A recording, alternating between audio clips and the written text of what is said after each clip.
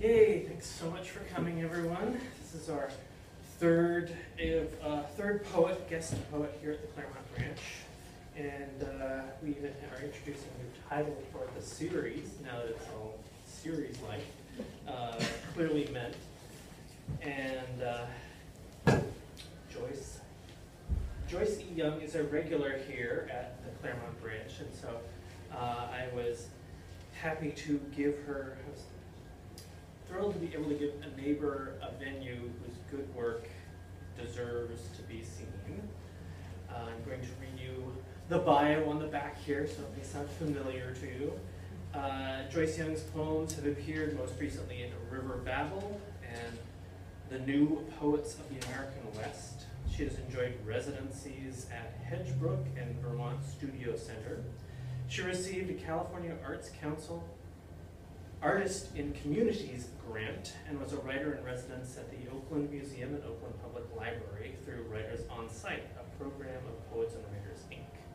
Her poetry collection, How It Happens, is forthcoming this fall from Pandemonium Press, which I believe is an Oakland Press. Uh, Berkeley. Oh, It's a Berkeley first, She is currently working on a novel, Parallel Journey. She works as a writing consultant at the John F. Kennedy University. Please welcome Joyce Young.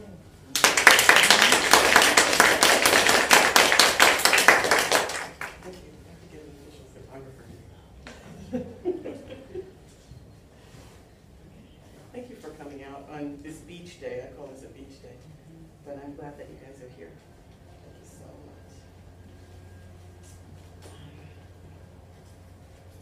So, been jumping around trying to figure out where to start. I always gather the poems. I know that they will come within the right time frame, but I'm never sure till I actually get here and see who's here, um, exactly what I'm going to read first.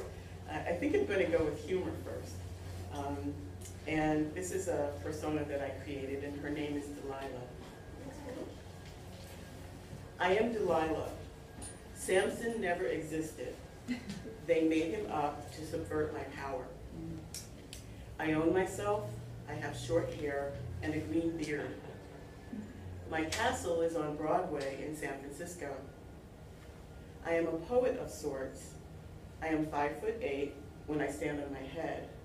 I do that at least twice a day. I can't swim, but I can fly. I love to wear designer clothes and eat falafel. The opera soothes me. I dance every day. Prayer is only for the wicked, so I make sure I do it often. I'm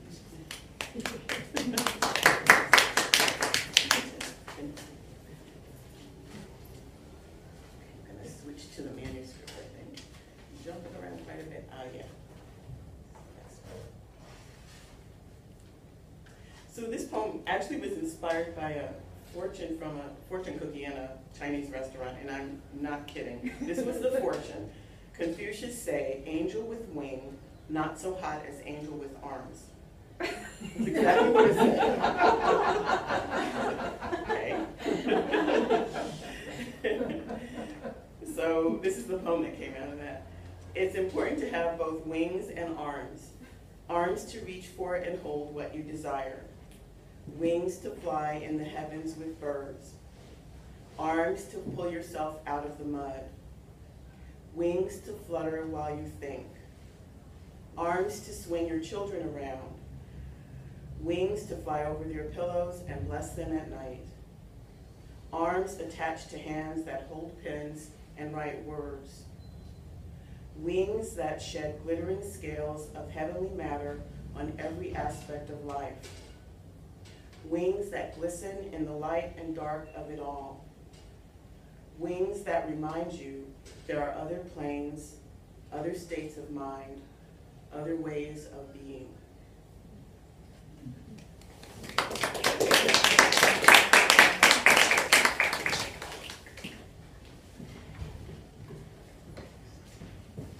Let's get a little mystery in here. This is a short poem called Who Knows? Who knows what will come later? I cannot say. I open my arms wide, gather freesia Hold them until their petals peel away. Drop lightly to my chest. Memory is sweet.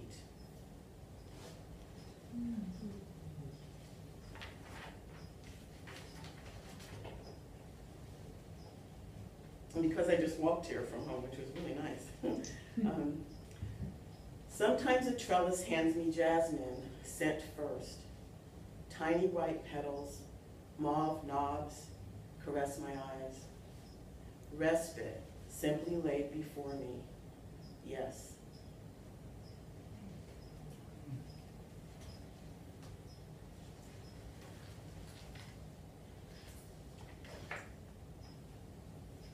Okay. This poem actually was inspired by a horse that I did see. I was in a house looking out on a path, and um, there was a horse that for some reason they were trying to get him to turn around and he wouldn't do it.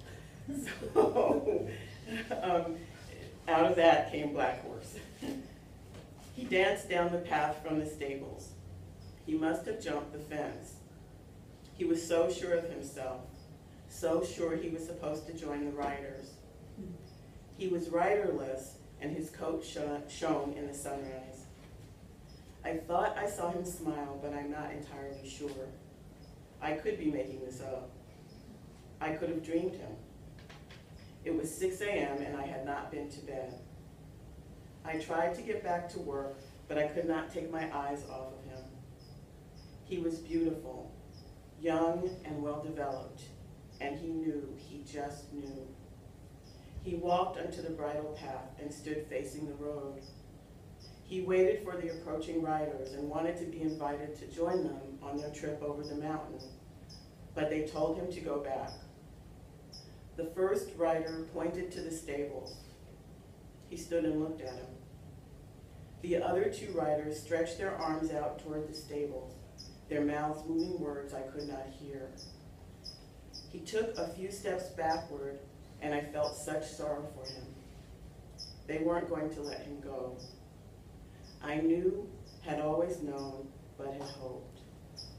He held his head high, turned, and danced his dance home.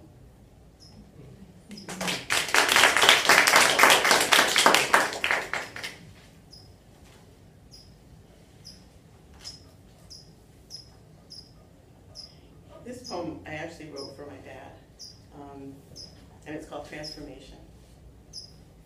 We turned Tonka truck, trucks upside down and marched plastic army men into and out of shoeboxes on a green linoleum floor cut and laid by my father's hands.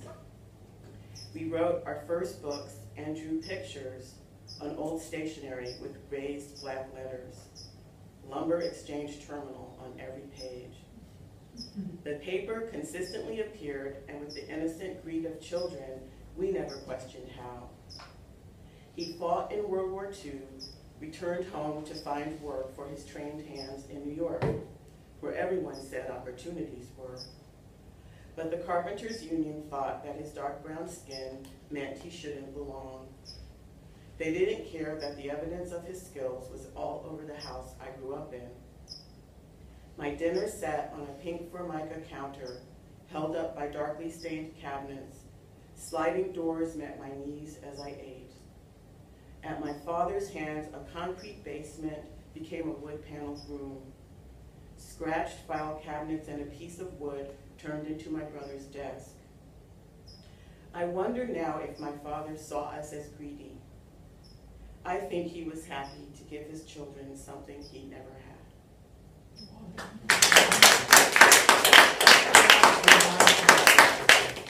That reminds me of my, It does? Oh. When that happens. good memories. yes. Okay. So actually, here's another relative who's popped up, my uncle, one of my uncles. Um, and this uncle had a great sense of humor um, all the time. That's what I remember most about him was that he was making jokes and laughing and making us laugh. And uh, his nickname was Uncle Stack. His uh, given name was John. I can see you, lips parted, head tilted backwards, hat perched on your head. You're sitting in the most comfortable chair in your sister Ruth's house. She's been keeping that chair warm for you for over 20 years. The two of you are conjuring up more sly jokes, more nicknames for us, more belly laughs. If this is what I have to look forward to, I won't mind too much when my time comes. Um,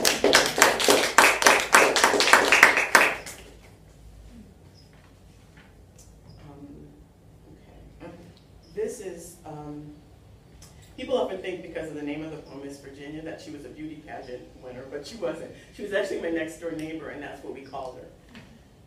Miss Virginia. She cried as she sat for hours on the back steps, rocking herself and rubbing her hands. When she did that, we knew she was going to Kings County again. Miss Virginia, what did she have to put up with? Hilton's greasy overalls, cans of beer, drunken belches, Bert's adolescent hormones that led him to women and little girls. How did she live with them? If she'd had another way, would she have danced, carved something out of wood, shaped a, li- shaped a life for herself from clay? Would she have traveled to another town for respite, spoken with ancestors who could have taken her by the hand, held her up?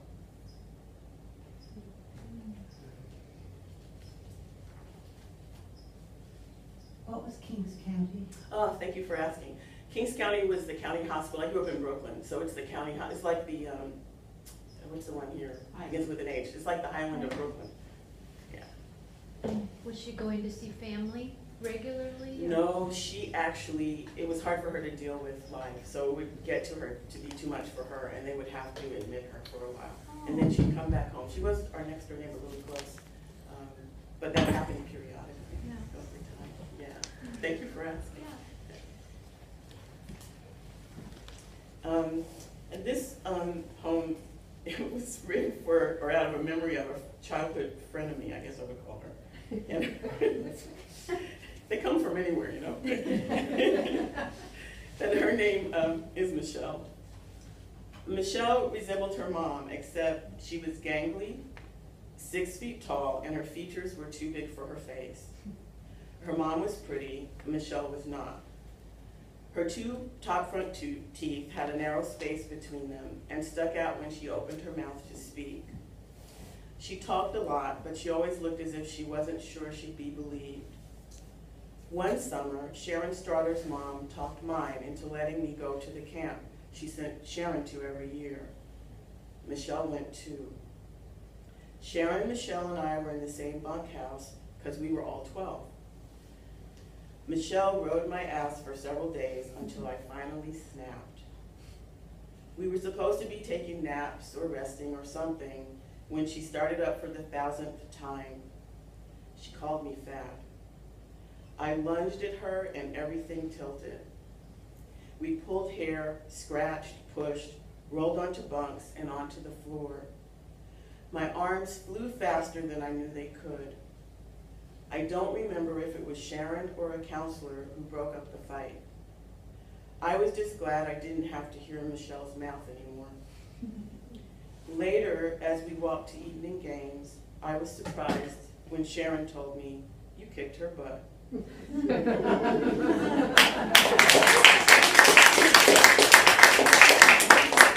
The end of bullying. I think until that point, I really didn't know that I could stand up in a fight, stand up for Were myself. you happy too? You were surprised? I think I Did was you just feel- shocked. I mean, I don't, I didn't remember feeling like, I think Sharon was more, you know, proud and happy than I was. I was just still kind of in shock because the suddenness of my response, the fight Yeah. itself, being broken up, mm-mm.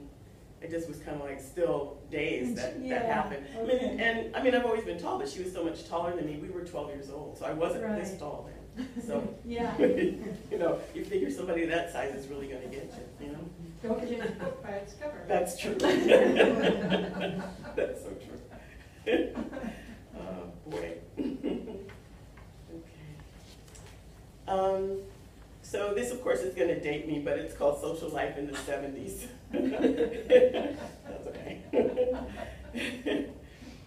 They all had the right music at home or on their car stereos. They had carved afros, suave lines, and manly voices. And they would stand in front of us at clubs and profile, never asking us to dance. It was the hardworking brothers who took showers twice, gargled for 10 minutes, and dabbed on musk oil cologne.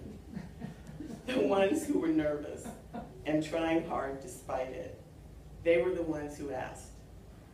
They danced with us because they wanted to, and yet they also wanted to look as cool as the men with impassible faces, who turned to one side, then the next, and posed in front of us, drinks in their hands, suits sculpted to their 20 and 30 year old bodies, smug mouths set in time to the music.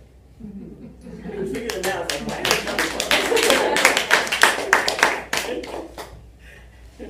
Thank you.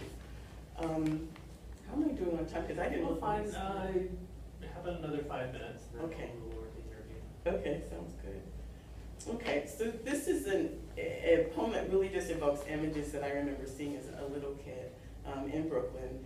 And my mom would go every couple of weeks to get her hair done. And so while she was doing that, I'd be walking outside looking around.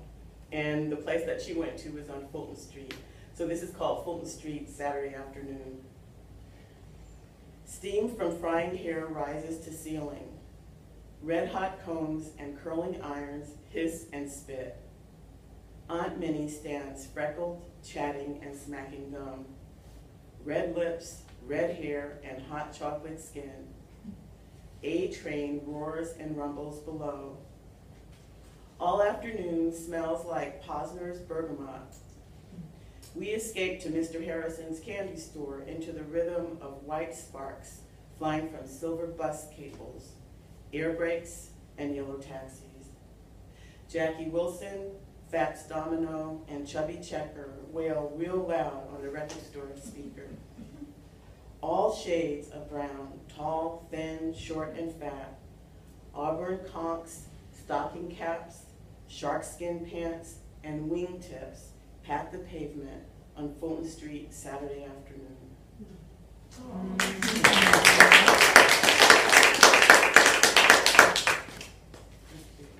So I'm going to um, end with,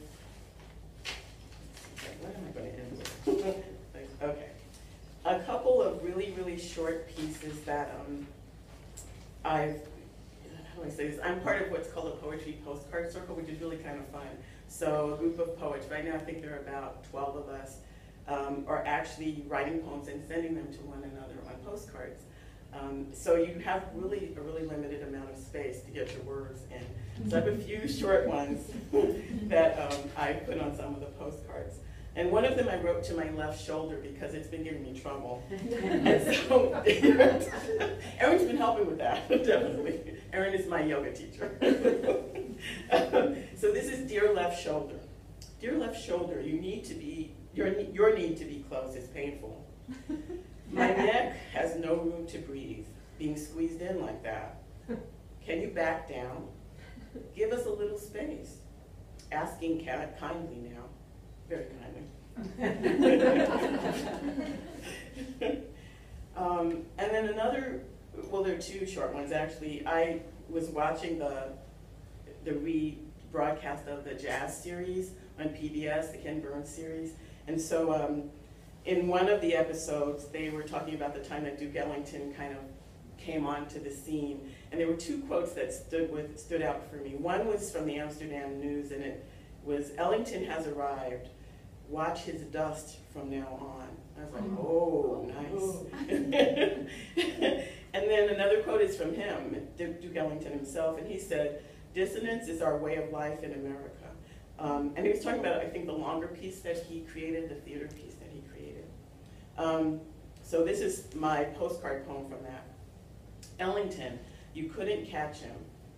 Riffs, barrier-breaking chords, pomaded waves, raised brow, je ne sais quoi. He was so smooth. I mean, I didn't know him, but yeah. Um, and then the second piece was inspired by the dancers that they interviewed, some of whom are still alive, and um, who they showed dancing when they were younger, which was incredible. So I call this one Savoy Smooth. Um, honey spread on toast, feet shuffling, kicking up dust and flame. Forest fire, bonfire, no matter, all joy. And I'm gonna close with Recipe for Hope, which is a, I guess in form is considered to be a list poem, but it's actually written in the form of a recipe. So first I'm gonna read the ingredients and then I'll read the instructions. Hmm. So here are the ingredients. Um, five two-month-old babies. Just have to grab them. Come back here during the week. No. Um, Six elders sitting and talking. Ten laughing kids. Two pregnant women almost to term. One year's worth of blank pages. Endless emotional support. One good friend. And one small illusion about yourself. Okay, so here's what you're gonna do with all of that. Um, instructions. Take five two-month-old babies and kiss them one by one as you hold them and hug them gently and lovingly. Quietly smell each of them for three minutes while you perform this sacred act. Sit in a rocker beside six elders who have known each other for 30 years and listen. Pay attention to everything they say. Try to develop your tolerance for gossip, wisdom, and elders. Hang out on the playground for one week with 10 laughing kids under the age of 12. Play whatever games they ask you to. Double dutch, tetherball, monkey bars. Never think that you don't have enough time to spend with them. Never think about time. Hmm. Go on a shopping trip with two pregnant women. Help them carry their bags and choose just the right food for those late night cravings. Be patient with their constant need to go to the bathroom. Imagine what it might be like to loan your body to another person rent-free for nine months. What would you have to do to reach such a large and selfless goal? Use metaphor when necessary to increase your understanding. Sit for 15 minutes every day looking at one year's worth of blank pages. Make this your meditation practice. Extend the emotional support you want for yourself to a loved one. Choose a friend, relative, pet, or neighbor to be the recipient of this gift. Remember that pets usually can't talk or send thank you cards. Allow one good friend to call you every day to see how you're feeling and take you to breakfast, lunch, or dinner. Accept the, the safety and peace of mind, restful sleep, and dream-filled nights that this friendship can bring. And the last instruction is to hold one small illusion about yourself and think about it for five minutes a day for five days. Then toss all of your illusions about yourself and get on with living your life. Thank you.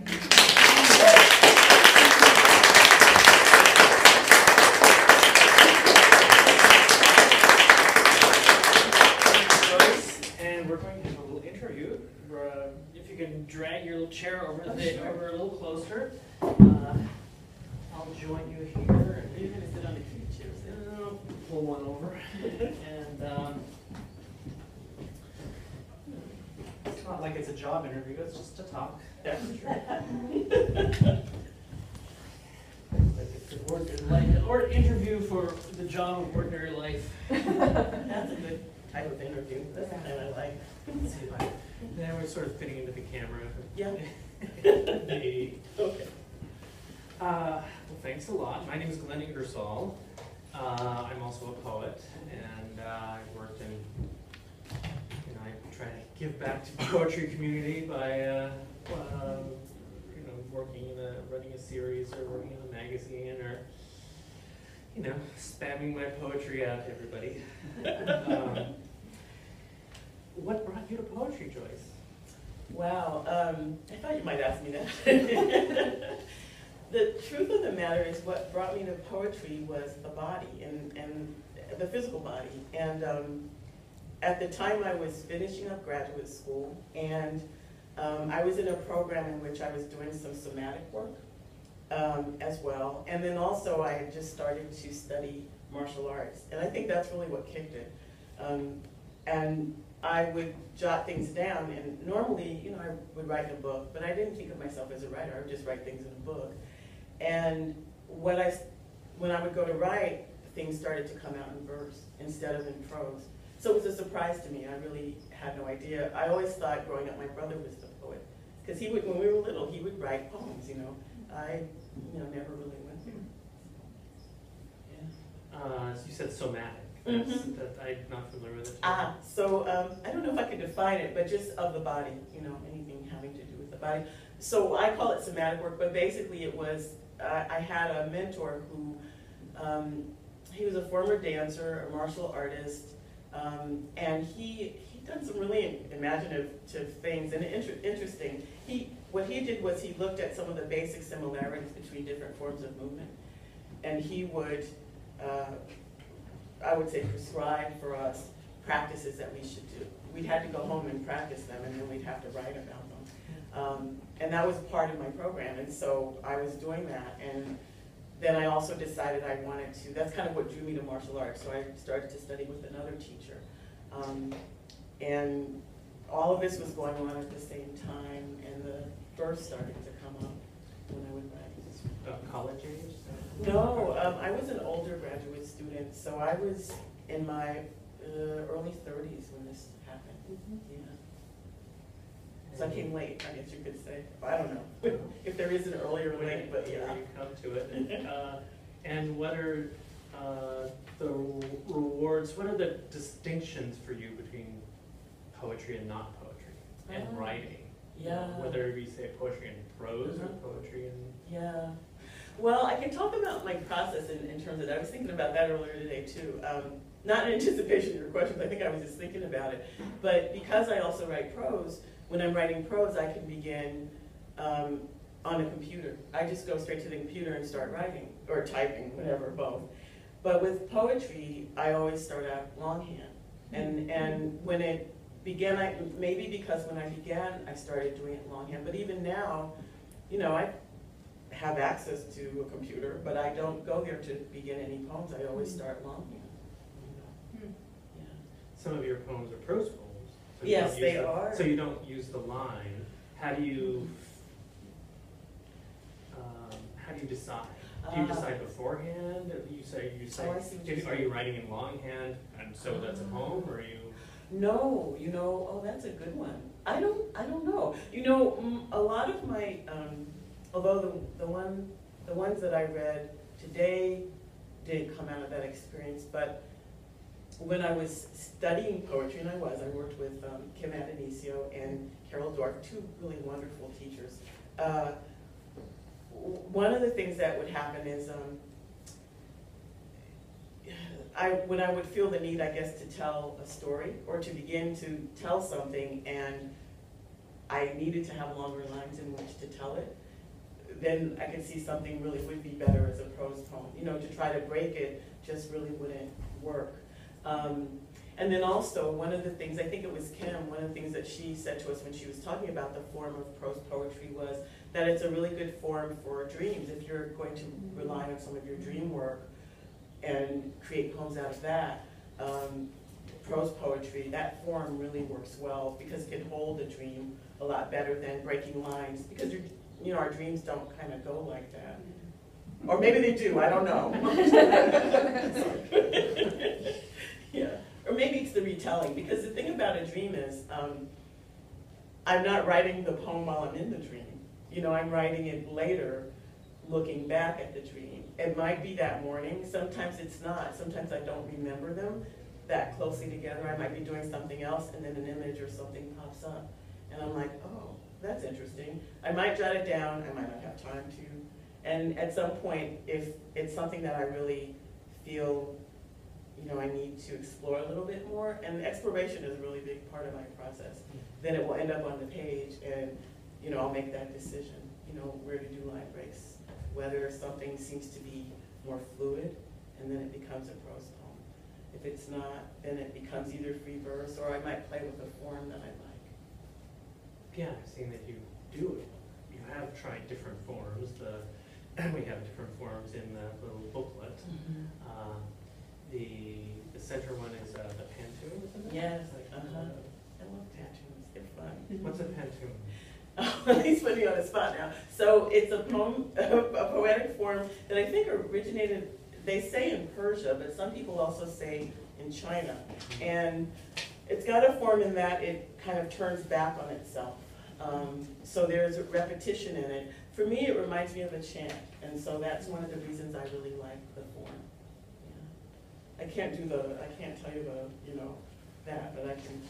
Uh, yeah, I struggle, when I, when I work in forms, I have to, um, kind of keep looking at the rules, like, am I following the right? Yeah, one? yeah. So, I don't do it very often, but, uh, it can be interesting. You can Mhm. get e- effects that you wouldn't do otherwise. Yes. which Can help, you know, can change your other process, your, Yeah. other- your, your regular. It can, it form, the interesting thing about form is at first when I began to learn more about form, um, I was thinking, oh God, I'm not going in, man, it's just free verse for me. But, um, one of the things that, it was Kim said to us was, you know, form can actually push your writing in, in unexpected ways, so you, even though you feel like it might bind you, it can also set you free, so you wanna play with it, at least, she was like, at least try it, because everybody in the class is like this, you know, no, we don't wanna go there, you know, yeah. Yeah, challenging yourself. is, oh, people talk about, uh, writing as possibly dangerous. Um, and, you know, you're not hurting anybody by scratching on a piece of paper. And Mhm. nobody reads it, nobody is changed by it, affected by it. But if somebody does read it, they, uh, they can have all sorts of different reactions to it. Yeah. What are some reactions that you've had to your work? Um, I remember in one reading, there's a poem that I have um, called Advice, and I was writing it um, inspired by the 500th anniversary of Columbus discovering America, so that was my thing. And I read it at a, an event, and afterwards, a woman came up to me and thanked me for reading it. She didn't, I don't think I gave uh, any talk about its, you know, what's motivated it. I just read the poem, and she just said to me, "Thank you so much for reading that poem. You know, I've had some painful experiences, and that poem represents some of them." And the poem kind of ends with um, something like, um, let me think here. What I'm saying in the poem is I'm talking to Columbus and his, and his men, and I'm telling them that people live to the place where they're going, at the place where they're going, and that really they should ask to visit. They shouldn't assume that they can just jump in and, or push their way in really. And I say toward the end, um, pushing your way in is the worst thing you can do. Um, you know, wait to be invited, and if this does not happen, go home. That's how it ends, you know. And uh, she, you know, it reminded her of a personal experience. We didn't go into any more detail than that, but for me, you know, I mean, art has that, think that powerful ability. Um, you know, if I view a dance performance or if I'm viewing visual art, you know, I will take from it what resonates with me, but it doesn't mean that that is what the artist may have been thinking about or dealing with when that, the artist created the artwork, and that's okay. Yeah, poetry is a variety of things. It's from, from narrative to more abstract, uh, like uh, stuff that we read that can't make can't make heads or tails of, but uh, sometimes they just they have a music to their own. Uh, it's more surrealistic. Um, one of the poems included in the booklet was Conjure Woman. Um, and, and I liked the, the the changes in it, the, the work, the progress of it.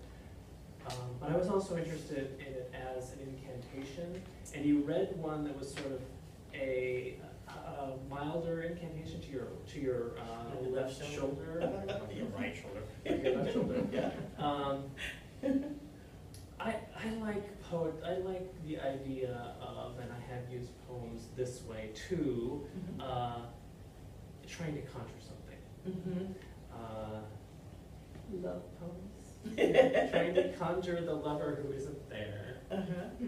What sort of con, what sort of thing, other things have you used your poems to conjure? Oh, let's see. I would say social change would be one thing. Uh, I have a series of haiku that I wrote several years ago, and I was responding to a lot of the changes in funding to things like public transportation, education. I mean, I was just kind of, and so I decided to use haiku to kind of hit on each thing in, in different ways. Um, and that, it, you know, it helped me in that it was another way for me to get my voice out, as well as petitions and all the other things, you know, um, that I was doing and working with young people. But um, yeah, I would say for things like that, uh, I don't know. I mean, conjuring is such an interesting word. You know, I would love to conjure world peace, you know, and I think maybe if enough of us get together, that can happen, you know. um, um, but I think for me, things that I see that represent, from my view, injustice or imbalance, um, usually that's what I look at as things I want to conjure, you know, in my poems and my writing.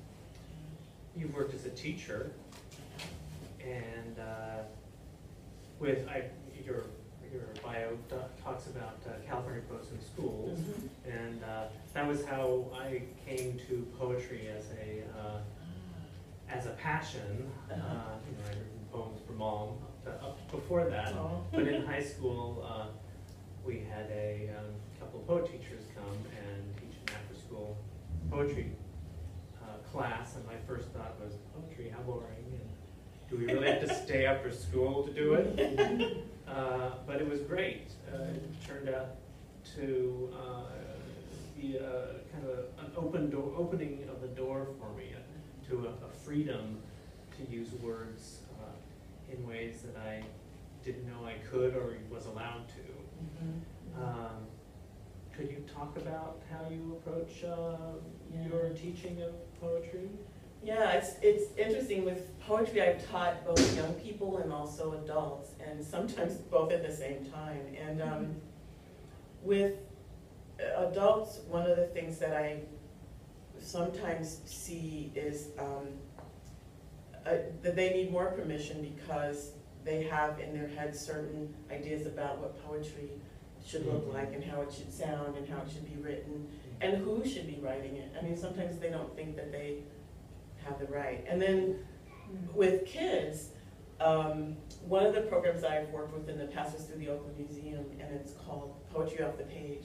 And so I would go into classrooms with representations of artwork from the permanent collection and encourage first discussion. And the barrier to break through there is the kids believing that um, only the people who created the art had any right to speak about it, you know, that their ideas about the art. So I had to do a lot around, you know, I just want to know what you think when you see this, or what does this remind you, those types of things.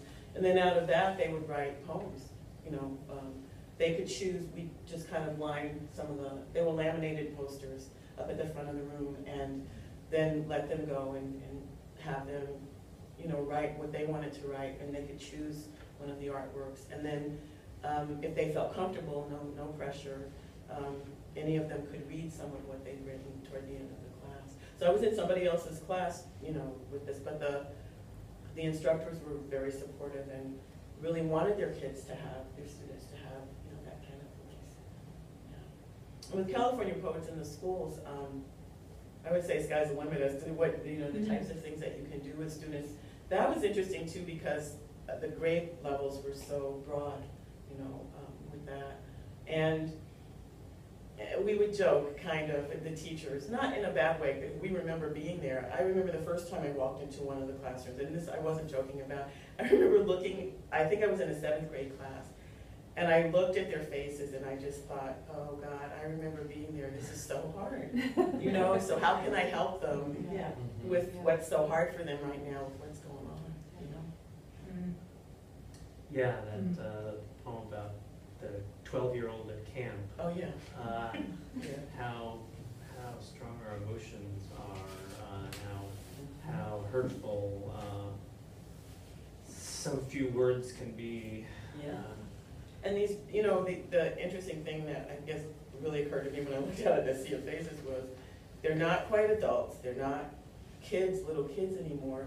They're, you know, navigating this really rocky place in their lives. Um, And, and I can tell how hard it was for them.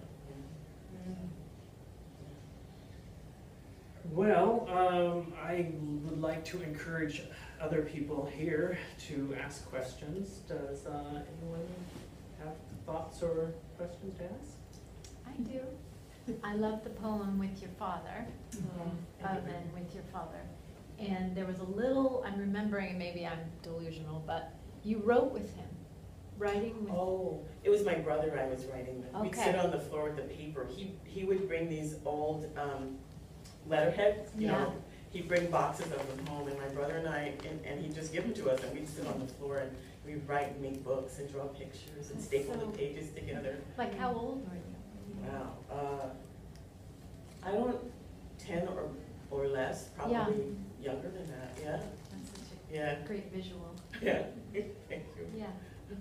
Enjoy it, enjoy it. Did your family have books at home? A lot of books? We did have books. We had a lot of books. We also had a lot of magazines. Like, my mom was the big magazine subscriber, and you know, she basically gave us the world by. We had a National Geographic subscription for years and years and years. So that Life magazine, which had photographs, huge photographs, and I think contributed to my photography hobby. You know, uh, just um, we had books too. I don't remember what all of them were. Well, we had some of the basic. Call them basic, usual.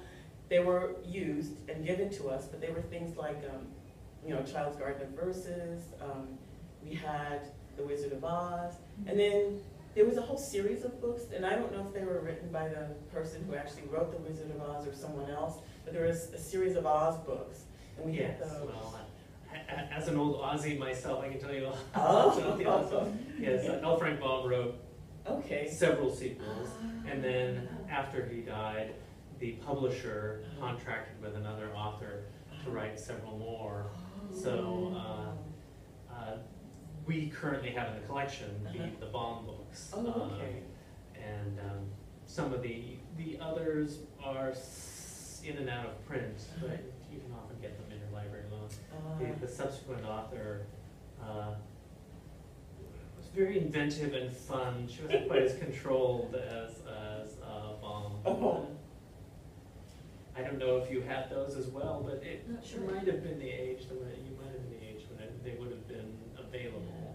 Yeah, and they were, we got them used, so, you know, I don't know, you know. Um, I also remember we, in school, you could get books through Scholastic, you know, so, um, I remember, you know, getting as many books as I would be allowed to, you know, based on our finances, and then, um, the books would end up lining the shelf. Mm. So it seems that poetry comes a lot from memories. I, I think it does, and memory, and memory is so funny too, because you, it's not what really happened necessarily, it's memory. Um, it can come from memories, it can come Or it from. triggers. Yeah, memories can definitely trigger it, for me anyway, um, conversations, as a matter of fact, a, um, one of my friends who's also a writer and posts quite a bit to, to Facebook, uh, posted a few days ago about sitting in a cafe and overhearing, I don't remember what the conversation was, but he was like, what, what a weird conversation, and he kind of said, these people were talking about X, Y, Z, and I was like, you know, the fun thing about sitting in a cafe is that you really can learn a lot about what's in people's heads, you know? What's going on in their heads as they're, you know, sitting there talking to friends or whatever, or on the phone. On the phone. Yeah. These days. Yeah. Are they talking to themselves? Mhm. Or on the phone? Uh-huh. So it can, can come from, from things like that too, you know? Um, And then another comment you made was like, um, poet, well, uh, the arts. mhm. And you said that when a dancer is doing her or his dance, and that the audience might relate to something totally different than what that performer had in mind. Mhm. Isn't that what art is all about? It lifts us and makes us think and takes us away. I like to think so. I like to think so. I mean, that's, I think that's what it's all about. I love it. I mean, it, it's a little pause from reality. It's, it Mm. takes us to a very nice place, you know? It definitely has that power. It definitely has that power. Elevating us. Yeah. You talked about it a little bit, but could you talk a little bit more about your process from changing from writing poetry to writing fiction? Yes. Maybe mentally or. No, it's fine, no. Um, it's interesting with that too, because I didn't have any idea I'd start to write fiction, so you just, I- everything surprises me with this. And what I noticed, in retrospect, what I noticed happening was that my poems, even though they were free verse, not prose poems, uh, the lines started to get longer, right before this, this, what I thought was a free write, and I'll, I'll talk about how that started in a minute, but my lines started to get longer, and I was kind of worried about that. It's like, why, why is this happening? You know, that kind of thing. And then, uh, this, I, this is when I was working with middle schoolers, so this was at least 10, 15 years ago. I um, took my students to a workshop, a Youth Speaks workshop, and I was sitting in the back of the room, and the person who was facilitated, facilitating rather, what he did, one of the exercises he did for them was to throw out images, and he wrote them on the board. And one of the images was a hot comb, and I thought, wow, hot comb. And I thought, well, I'm sitting here, I'll just start writing, and so I did, you know. And I suspected that what would come up for me would be a woman, because as a kid, I had my hair straightened using, my mom would do it using a hot comb. But what came up for me was a man, the image of a man who's had been burned slightly here. Mm-hmm. Singed because the, you know, he jerked, that was the thing, you had to sit still when this was being done. If you did not, you could get burned, you know. And I started with him and I wrote something and I, you know, took it home, put it away, didn't think much about it. And then it started coming up for me to kind of look at it again and I went back to it and I continued to write about. Who is this person? I wanted to know who he was. I got curious. And out of that was the beginning of what's, you know, now a novel in progress. But I would have had no idea, you know, I I had no idea I was gonna begin something like that. And also, I thought at first he was the protagonist. Turns out he's not the protagonist. He's not the most interesting person. So, you know, there are all these surprises with writing. And I think the kind of the thing that um, keeps me at it is that I start one place, but I never know where I'm gonna end up. So there's this mystery to it that's really quite wonderful. Not that I know what's gonna end up in life either, but you know, it's, I'm, you know, it's me in the page or me in the computer, and um, I'm always curious about where it's gonna take me, where I'm going next with, you know, what I'm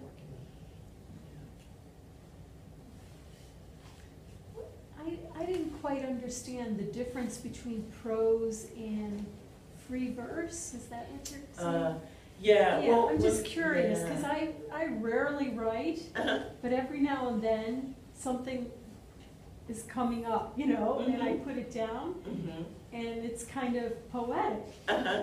And I, sometimes I often think I should be writing a heck of a lot more Uh-huh. for myself, Yeah, really. you Yeah. know.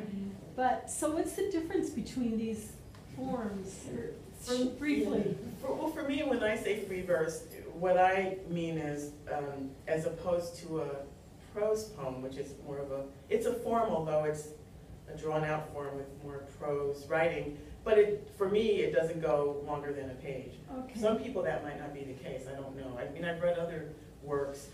Free verse, I always think of, there are stanzas, or there are line breaks, and they're somewhat shorter. Now, that's just my, that may not be the official definition, but that's how I How see it. it. Yeah, Okay. that's how I see it. Um, and then with prose, for me, I'm actually writing sentences. For me, they're sentences. Now, Mhm. again, somebody may say that that's not the case either, because there are forms of, of fiction or other forms that would be prose that may not necessarily be full sentences, maybe they're phrases.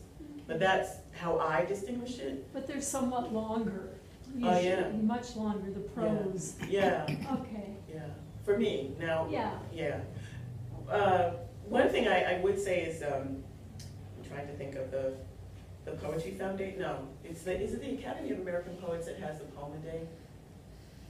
Uh, Oh, sorry. Somebody. There's something called Poem a Day, and you Yeah. can, there, I think there's, it's- there's some, oth- there's some sites that do like Poetry Daily. Yeah. So I've probably confused them, but. uh, okay.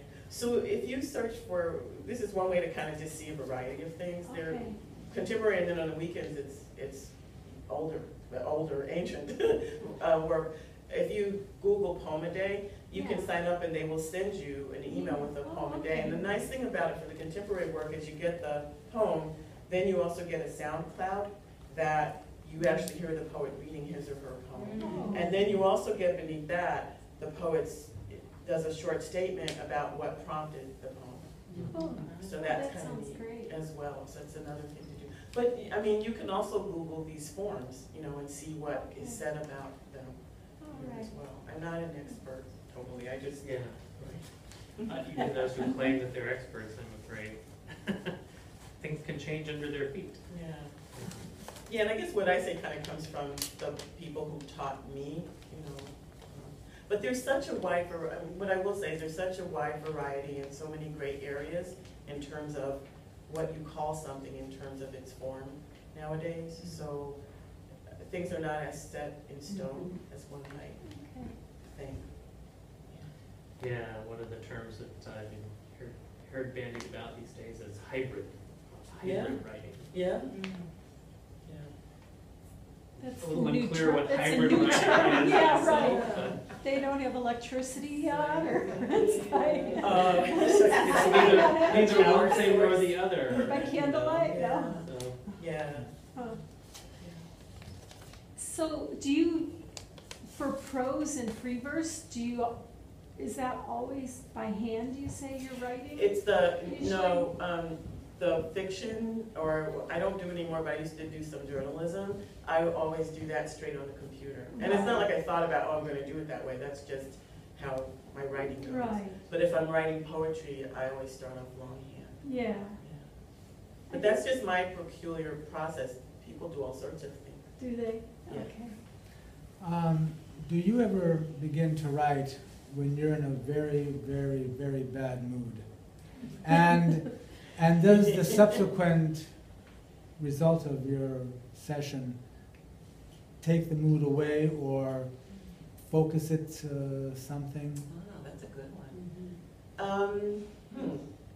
Yes, I do begin and have begun to write when I'm in a bad mood. Usually I'm pissed off about something, you know, I just, I'll just be honest, you know, yeah, whatever, some decision that's been made, something that's going on, something at work, you know. Um, I would say that it does in a sense because it helps my mind get unjangled, if that makes any sense. Because when I'm really, you know, like, uh, like that, things are kind of like this in my mind. So it can help. That's not the only thing I do to, uh, yeah, to, how do I say this, to kind of, I'm trying to make sense of what it is that's going on a lot of times. You know, some decision's been made, somebody says something, you know, what was that, what was that about, you know, that kind of thing. And, um, it helps me separate what was said, how I took it, you know, what's going on with me, you know, all of those What about things. journaling? Um, I don't necessarily No. call it that, but you could, you know, you could. Yeah.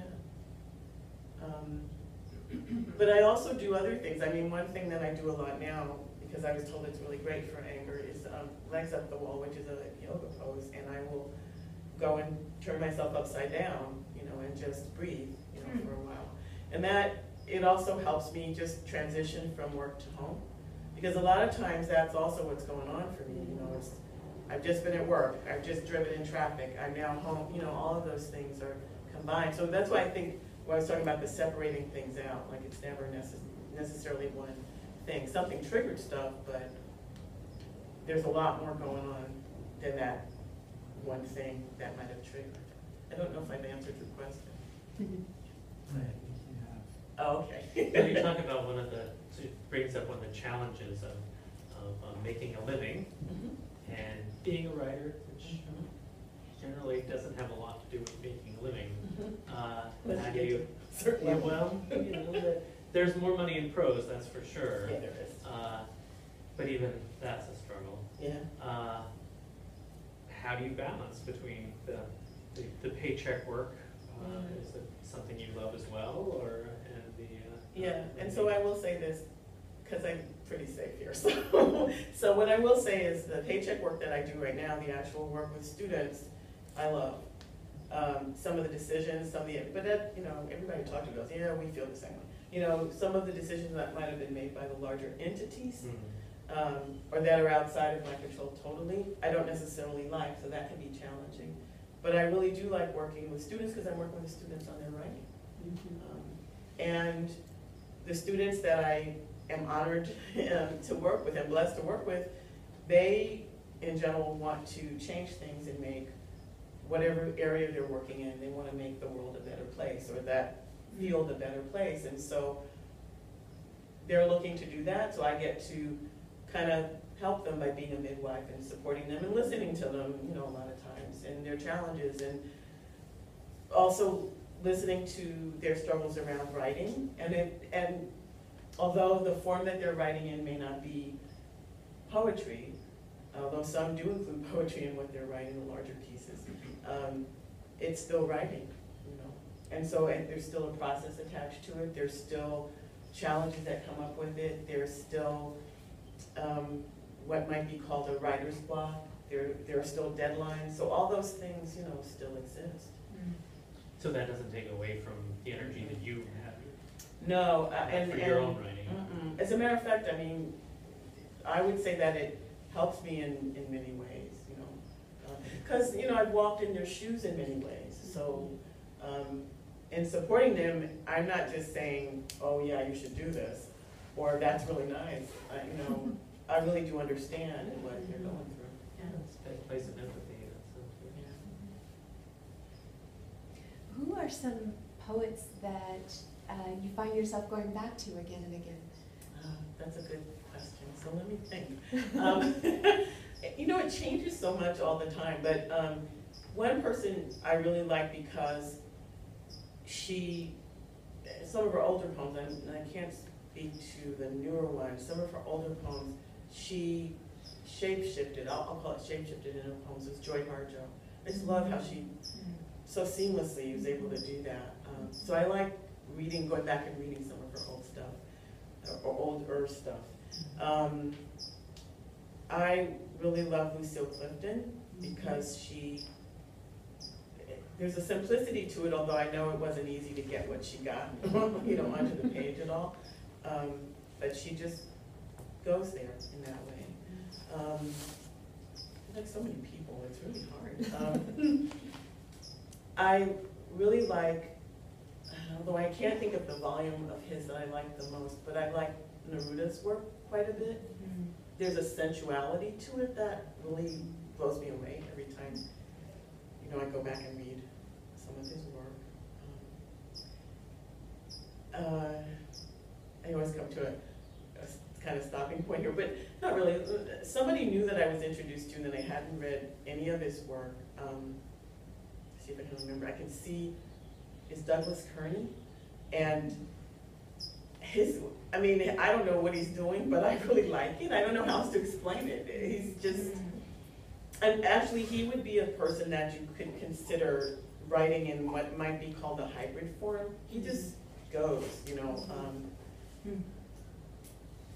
and he's saying some very deep things. At first, you might think on the surface that, you know, he's just fooling around, but he's doing a lot more than that, you know, with his work.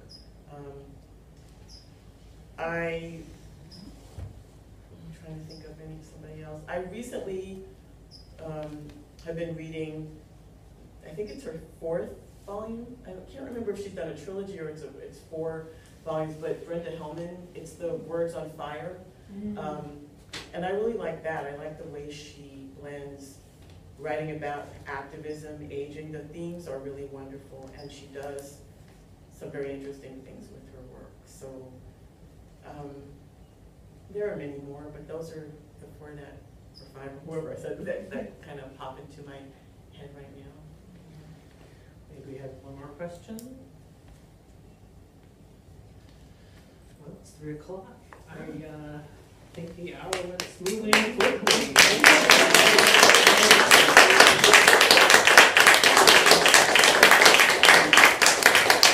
And Thank you so much for coming. Uh, on, I call this a beach day, on this beach day. And I also have a mailing list because I do have a book that will be coming out either later this year, or we're kind of playing with it now, or the beginning of next year. And um, I'd like to keep you you know, updated as to when it comes out. We have, we're creating little cards that we're gonna send to people. So I do have a mailing list over here if you wouldn't mind signing it if you're interested. No pressure, but um, hmm. thank you. Thank you. Uh, and there are more copies of the little booklet that I have stacked on the chair outside. Feel free to take some for friends if you um, want to pass them on. Okay. Thanks for coming. Yeah, thank, thank you. you. Thank you.